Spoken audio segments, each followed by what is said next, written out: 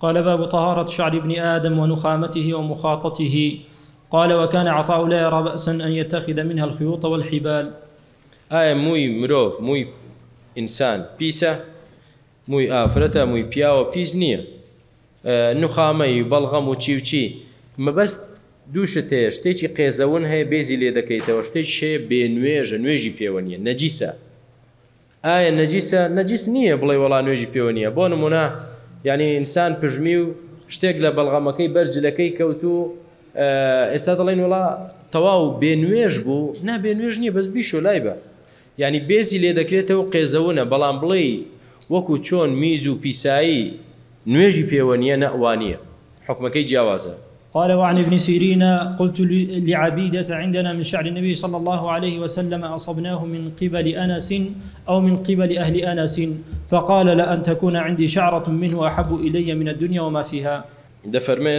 ابن سيرين دلب عبيدة مدتم إما اللي موي بيغمبري إخوة من لا عليه الصلاة والسلام موي قجي بيغمبر من لا عليه الصلاة والسلام لا أنس ورمانقر أنس قسمت كاري بيغمبر عليه الصلاة والسلام ئەو مۆی هەڵگرتووە بەڵێ فقال فرمويتي لأن يكون عندي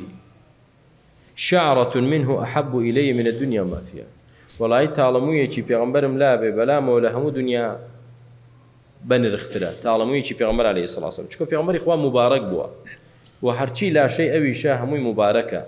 بويكاتي کاتێک کە بەو ئاوەی کە دەمێنێتەوە سەحابە مەسی خۆیان بەو ئاوە دەکرد چکە مبارەکە و پاکە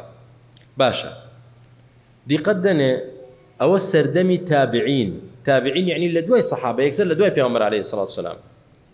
دەڵێ ئەگەر یەک تاڵەمووی پێغمبەرم دەستکەوت بە بەلامەوە لە هەموو دنیا خۆشتر بوو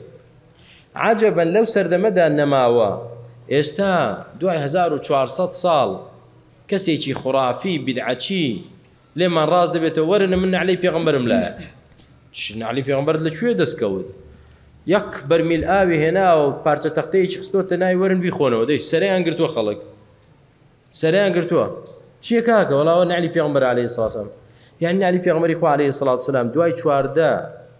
سەدا ئێستا بۆ جەنابت ماوەتەوە خستوتە بەرمیلێک ئاو خەڵک سرە بگرێت و ئەو ئاو بخۆنەوە لەو تەختەیە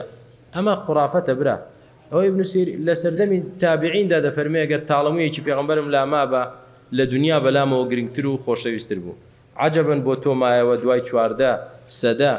وڵا نعلی پێغمبرم لای عليه سلااترا بۆی ئەوەی باز دەکرێمووی خوراافەتە براکەم ڕاز نییە هیچی پێغمبەری خوانە ماوە عليه سلاات سلام